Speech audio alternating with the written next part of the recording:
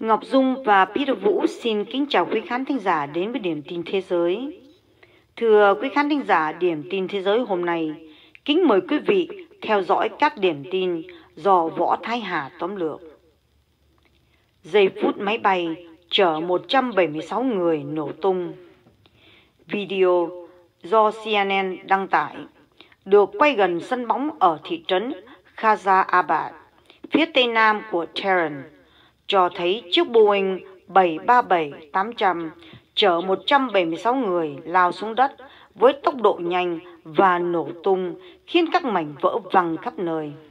Trong video, một vụ nổ khổng lồ xảy ra sau khi chuyến bay số hiệu 752 của hãng hàng không quốc tế Ukraine UIA lao xuống đất sáng ngày 8 tháng 1.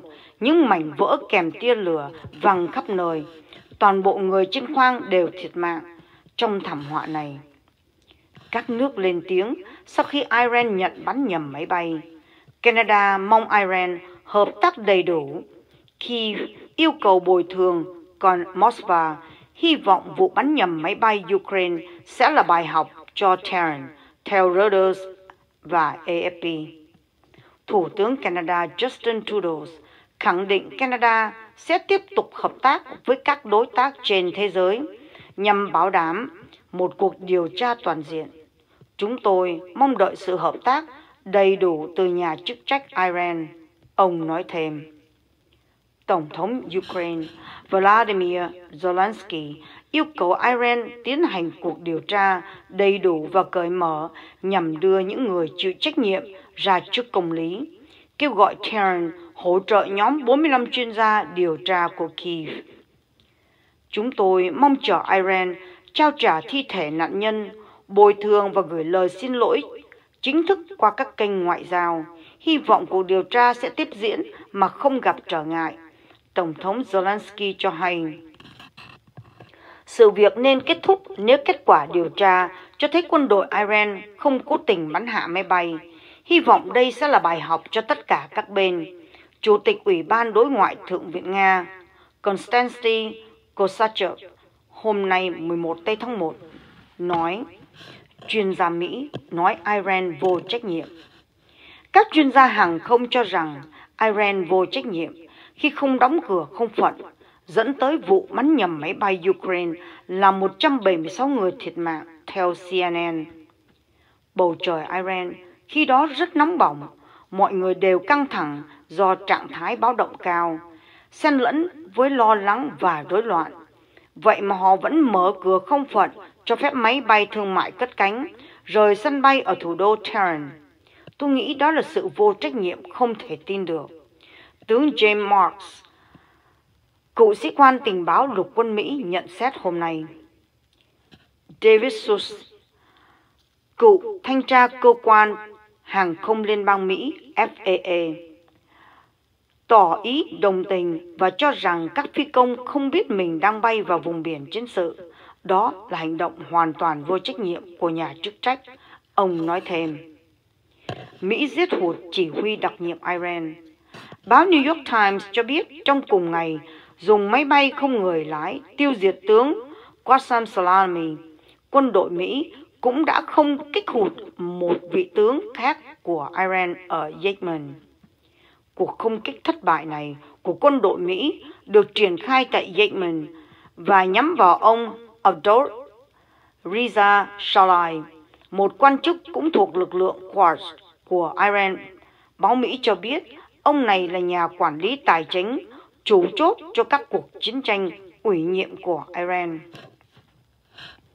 Tiết lộ về cuộc tấn công hụt thứ hai từ các quan chức Mỹ cho thấy rõ hơn việc chính quyền ông Trump đã chủ trương nhằm vào một nhóm lớn hơn các chỉ huy của lực lượng quân sự và bán quân sự của Iran, không chỉ tướng Soleimani.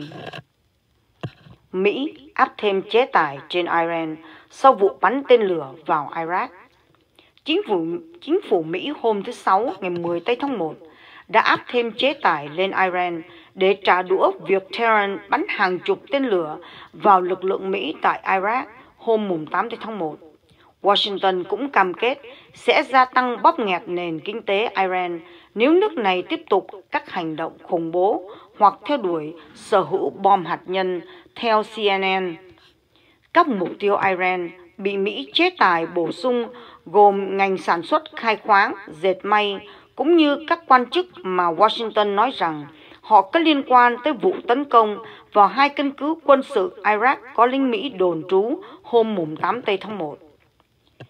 Chế tài nhắm mục tiêu vào 8 quan chức cấp cao Iran, những người mà Ngoại trưởng Mike Pompeo cho biết họ chịu trách nhiệm cho các hành vi bạo lực của Tehran ở cả trong và ngoài nước. Iran dựng mô hình tàu sân bay Mỹ để diễn tập tấn công. Các hình ảnh vệ tinh do công ty vệ tinh Planet Labs cung cấp hồi tuần qua cho thấy Iran dường như đã dựng mô hình của một tàu sân bay Mỹ lớp Nimitz nhằm phục vụ hoạt động diễn tập tấn công trên biển. Trong bối cảnh nhóm tác chiến tàu sân bay Mỹ đang đậu ở vùng biển gần đó, Iran được cho đang chuẩn bị cho những kịch bản để nâng cao khả năng đối với khí tài Mỹ. Hãng tin Sputnik cho biết trước đó có con tàu đã bị hỏng nặng, sau đó đã được quân đội Iran vá các chỗ bị hỏng, vỡ rồi sơn lại và thậm chí đặt máy bay mô hình lên bong. Bị yêu cầu rút quân, Mỹ và đồng minh vẫn kiên quyết ở lại Iraq. Mỹ tuyên bố vẫn nhất quyết ở lại Iraq, thậm chí còn muốn các nước đồng minh NATO tăng cường thêm sự hiện diện tại đây theo VOV. Sau những chỉ trích vi phạm nghiêm trọng chủ quyền quốc gia, chính phủ Iraq đã chính thức yêu cầu Mỹ rút quân ra khỏi quốc gia Trung Đông này. Tuy nhiên, Mỹ tuyên bố vẫn nhất quyết ở lại. Thậm chí Washington còn muốn các nước đồng minh thuộc Tổ chức Hiệp ước Bắc Đại Tây Dương NATO tăng cường thêm sự hiện diện tại đây. Bộ Ngoại giao Mỹ cho biết sẽ không có phái đoàn Mỹ nào đàm phán về việc rút quân ra khỏi Iraq vì sự hiện diện của quân đội Mỹ tại đây là hợp lý. Người phát ngôn Bộ Ngoại giao Mỹ Moga Ortega cho hay chính phủ Mỹ và Iraq cần đối thoại không chỉ về an ninh mà còn quan hệ đối tác tài chính, kinh tế và ngoại giao. Iran đau đớn vì quân đội bắn nhầm máy bay. Nhiều người dân Iran lên mạng xã hội bày tỏ sự đau đớn, tức giận và sốc sau khi chính phủ thừa nhận bắn nhầm máy bay Ukraine theo ABC. Tuyên bố nói rằng lỗi con người đã dẫn đến tai nạn thảm khốc của chuyến bay số hiệu 752 thuộc hãng hàng không quốc tế Ukraine UIA ở ngoại ô Tehran sáng ngày 8 tháng 1, toàn bộ 167 hành khách và 7 và 9 thành viên phi hành đoàn thiệt mạng. Theo hãng thông tấn Fars của Iran, lãnh tụ tối cao Ayatollah Ali Khamenei hôm ngày 10 tháng 1 yêu cầu các thành viên của Hội đồng An ninh Quốc gia tối cao thông tin rõ ràng và trung thực tới người dân về những gì đã xảy ra. Tuy nhiên, thông báo trung thực này không kiềm chế được cơn sốc phẫn nộ của người dân trước cái chết của những người vô tội, cũng như việc chính phủ che giấu sự thật suốt ba ngày sau tai nạn. Các ngài mất đến 3-4 ngày mới nhận ra đã bắn tên lửa sao? Nhiếp ảnh gia Aras Ashunia đặt câu hỏi trên Twitter.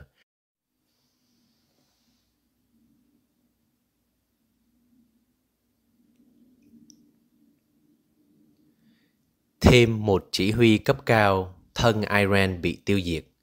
Một chỉ huy thân Iran thuộc lực lượng huy động nhân dân PMF của Iraq đã bị các tay súng không rõ danh tính giết chết.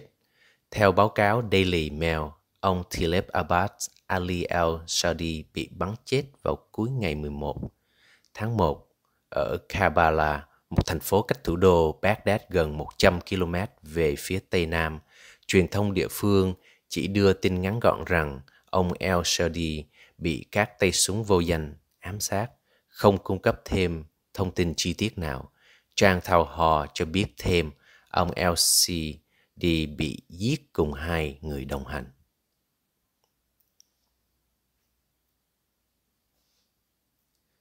Siêu bão tuyết hoành hành nước Mỹ đến hết hôm nay. Theo Reuters, ít nhất 10 người thiệt mạng, hơn 1.000 chuyến bay bị hủy và hàng trăm ngàn hộ dân rơi vào tình trạng mất điện tại năm tiểu bang Mỹ vì siêu bão tuyết hôm ngày 11 tháng 1. Cơ quan Thời tiết Quốc gia Mỹ NWS dự đoán bão tuyết sẽ tiếp tục hoành hành cho đến hết ngày 12 tháng 1.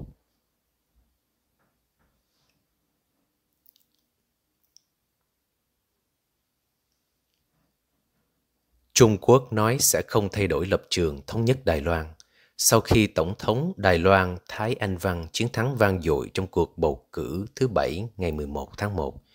Trung Quốc tuyên bố rằng họ sẽ không thay đổi lập trường, coi Đài Loan là một phần lãnh thổ của đại lục.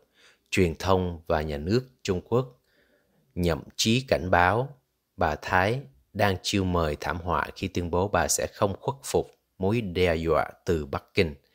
Theo Reuters, Bộ Ngoại giao Trung Quốc phát đi tuyên bố cho hay, bất kể có những thay đổi nội bộ gì đối với tình hình Đài Loan, thực tế cơ bản rằng chỉ có một Trung Quốc trên thế giới này và Đài Loan là một phần của Trung Quốc sẽ không thay đổi. Mặc dù Trung Quốc nói Đài Loan là lãnh thổ của đại lục, nhưng Đài Loan duy trì họ là một quốc gia độc lập với tên gọi chính thức là Cộng hòa Trung Hoa.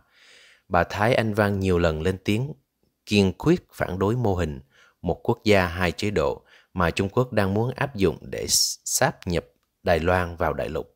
Bà Thái đã thắng áp đảo trong cuộc bầu cử hôm ngày 11 tháng 1 và đảng Dân Tiến của bà cũng đã đảm bảo được đa số ghế tại Quốc hội.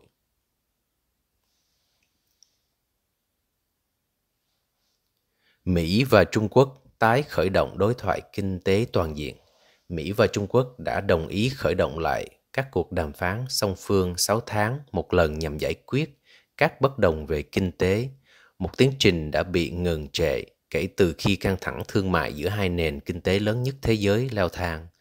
Nhật báo Wall Street Journal WST ngày 11 tháng 1 đưa tin việc nối lại các cuộc thảo luận trong khuôn khổ đối thoại kinh tế toàn diện Mỹ-Trung sẽ được công bố ngày 15 tháng 1 như một phần trong lễ ký thỏa thuận thương mại giai đoạn 1 giữa các quan chức cấp cao của Mỹ và Trung Quốc, nhưng sẽ tách biệt với bất kỳ một cuộc đàm phán thương mại giai đoạn 2 nào.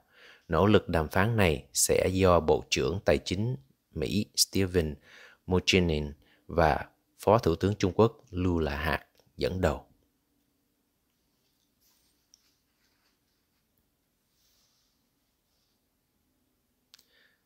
hàng ngàn người chạy bộ phản đối chính phủ Thái Lan. Hàng ngàn người Thái Lan tham dự sự kiện chạy đua chống độc tài ngày hôm nay ở thủ đô Bangkok nhằm phản đối chính phủ Thủ tướng Prayut Chan Ocha. Từ sáng hôm nay, hàng ngàn người mặc trang phục thể thao xuất phát từ Swan Ratfe, công viên Vichira Benchatas và chạy cự ly 2,6 km đám đông vừa chạy vừa hô khẩu hiệu yêu cầu Thủ tướng Prayut từ chức. Thủ tướng Prayut cựu tư lệnh quân đội Hoàng gia Thái Lan lên nắm quyền sau khi quân đội tiến hành cuộc đảo chính vào năm 2014, giữ chức thủ tướng 5 năm và tái đắc cử sau cuộc bầu cử tháng 3 2019, theo tờ Bangkok Post. Vội về giai đoạn 2, thỏa thuận thương mại với Trung Quốc. Tổng thống Mỹ Donald Trump cho biết, giai đoạn 2 trong thỏa thuận thương mại với Trung Quốc có thể diễn ra bầu cử của Tổng thống Mỹ vào tháng 11 năm nay theo Reuters. Tổng thống Trump cho biết, chúng tôi sẽ bắt đầu ngay việc đàm phán giai đoạn 2 và việc này sẽ mất thời gian một chút. Tôi hy vọng thấy được việc đàm phán giai đoạn 2 này sẽ kết thúc sau cuộc bầu cử tổng thống bởi như vậy, tôi nghĩ chúng tôi có thể sẽ có được một thỏa thuận lớn tốt hơn, thậm chí là tốt hơn rất nhiều.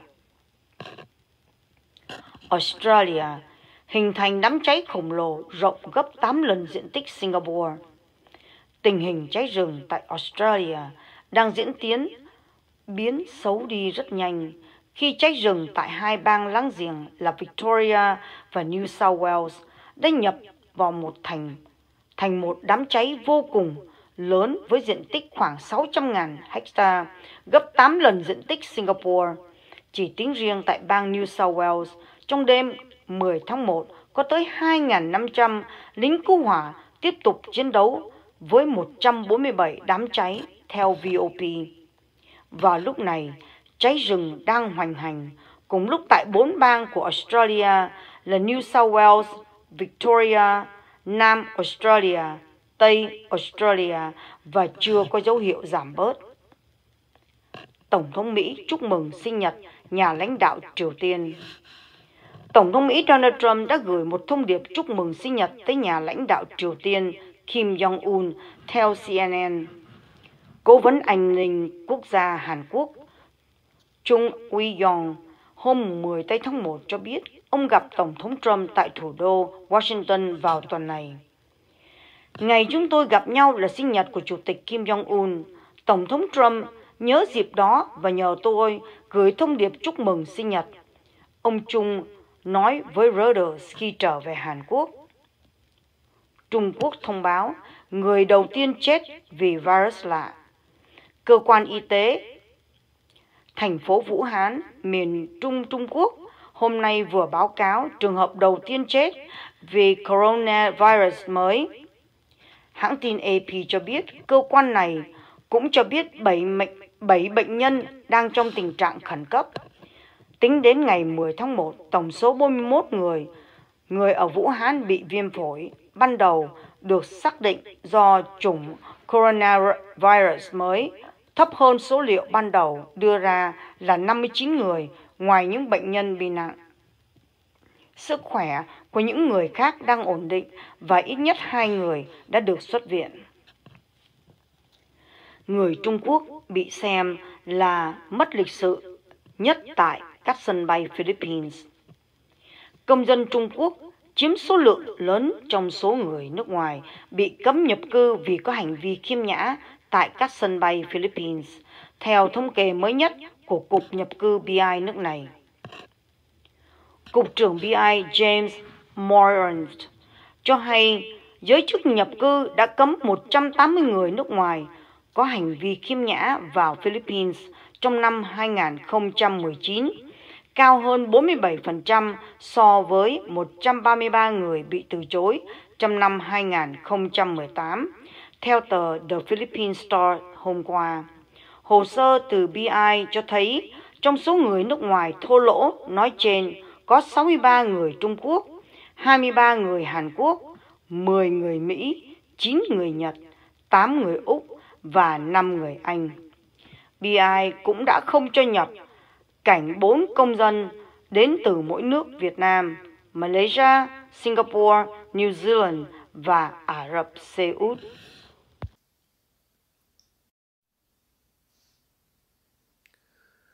Ước tính 1,25 tỷ cá động vật đã chết do cháy rừng tại Australia.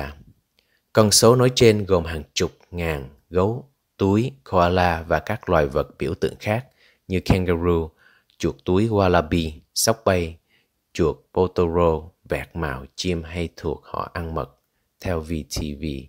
Thống kê trên được Quỹ Quốc tế về Bảo vệ Thiên nhiên công bố. Đáng chú ý, cháy rừng cộng với tình trạng phá rừng để trồng trọt là phát triển đô thị có khả năng đẩy nhanh loại gấu túi koala vào tới bờ vực tuyệt chủng tại miền đông Australia.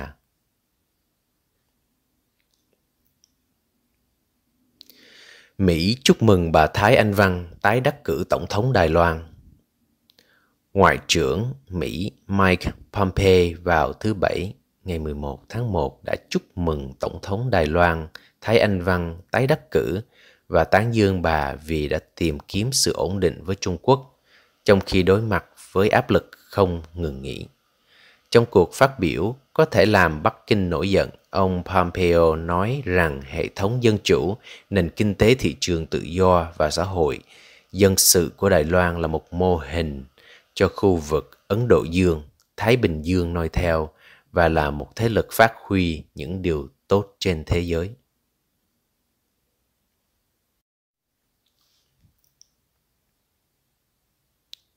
Thủ tướng Đức tới Nga để thảo luận về căng thẳng Mỹ-Iran. Ngày 11 tháng 1, Thủ tướng Đức Angela Merkel đã có chuyến thăm tới Nga và hội đàm với Tổng thống nước chủ nhà Vladimir Putin. Đây là lần đầu tiên Thủ tướng Đức trở về Nga kể từ cuộc hội kiến song phương hồi tháng 5 2018.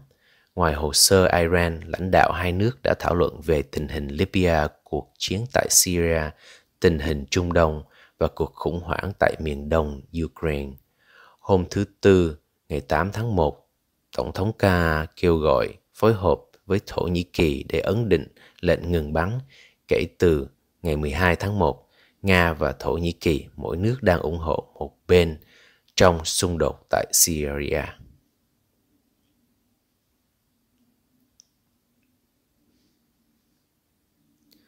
Tổng thống Đài Loan tái đắc cử áp đảo, làm Trung Quốc thêm bẻ mặt. Tổng thống Đài Loan Thái Anh Văn ngày thứ Bảy, ngày 11 tháng 1 tái đắc cử trong cuộc bầu cử mà bà giành chiến thắng áp đảo. Diễn biến này được xem như một sự bẻ mặt đối với Trung Quốc và có phần chắc chắn sẽ khiến căng thẳng tăng cao hơn nữa với Bắc Kinh. Chúng tôi hy vọng chính quyền Bắc Kinh có thể hiểu rằng một Đài Loan dân chủ với một chính phủ được người dân lựa chọn sẽ không nhượng bộ trước những lời đe dọa và dọa nạt. Bà Thái nói với các phóng viên sau chiến thắng của bà. Bắc Kinh cần hiểu ý nguyện của người Đài Loan và chỉ người Đài Loan mới có thể quyết định tương lai của mình, bà nói thêm.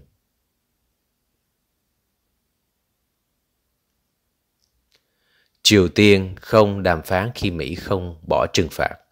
Hôm ngày 11 tháng 1, Bình Nhưỡng cảnh cáo sẽ chỉ nối lại đàm phán với Washington về chương trình hạt nhân trong điều kiện Hoa Kỳ đồng ý toàn bộ về các yêu cầu của Triều Tiên. Ông Kim Ki-wan, cố vấn Bộ Ngoại giao Triều Tiên được hãng tin chính thức KCNA trích dẫn, cho biết Bình Nhưỡng đã nhận được thư của Tổng thống Donald Trump chúc mừng sinh nhật lãnh đạo Kim Jong-un. Tuy nhiên, ngay sau đó, ông Kim K-wan đã cảnh cáo thật phi lý khi hy vọng Bình Nhưỡng nối lại các cuộc thương lượng chỉ bởi vì quan hệ cá nhân không tồi giữa lãnh đạo hai nước.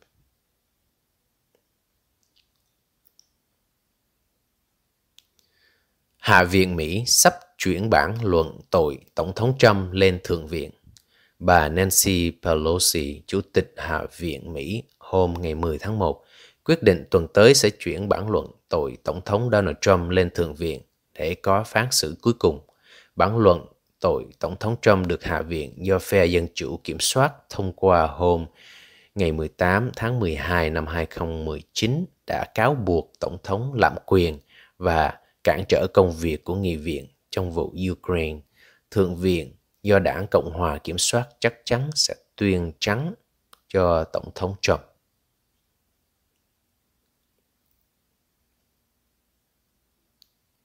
Dịch viêm phổi hoành hành tại miền Trung Quốc. Có báo cáo về một người đã chết theo cơ quan y tế Trung Quốc, có 59 người nhiễm bệnh. Bệnh viêm phổi khởi phát từ thành phố Vũ Hán hồi cuối tháng 12 2019.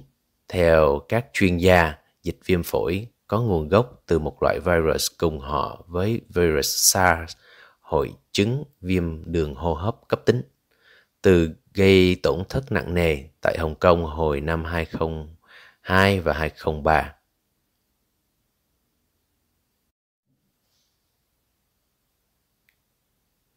Tư pháp Canada bật đèn xanh cho dẫn độ Mạnh Vãn Châu sang Mỹ. Theo tài liệu công bố hôm ngày 10 tháng 1 2019, Bộ Tư pháp Canada cho rằng Tổng Giám đốc Tài chính của tập đoàn Huawei đang bị Canada bắt giữ theo yêu cầu của Mỹ có thể bị dẫn độ về Mỹ. Bà Mạnh Văn Châu bị Canada bắt giữ tại Vancouver hồi cuối 2018, dự kiến ngày 20 tháng 1, tòa án thành phố này sẽ mở phiên xử quyết định số phận của bà. Hoa Kỳ cáo buộc bà Mạnh Vãn Châu vi phạm lệnh cấm vận Iran. Các luật sư của bà Mạnh nhấn mạnh vào điểm thân chủ của họ không thể bị dẫn độ bởi vì vi phạm lệnh trừng phạt Iran không phải là một tội ở Canada. nước không tham gia trừng phạt Iran.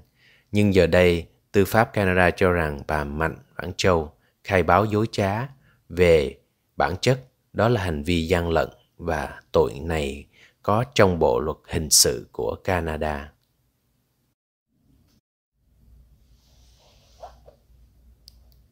Peter Vũ và Ngọc Dung xin kính chào tạm biệt quý khán thính giả. Hẹn quý vị kỳ tới. Kính chúc quý khán thính giả, gia đình và người thân hạnh phúc và yêu thương.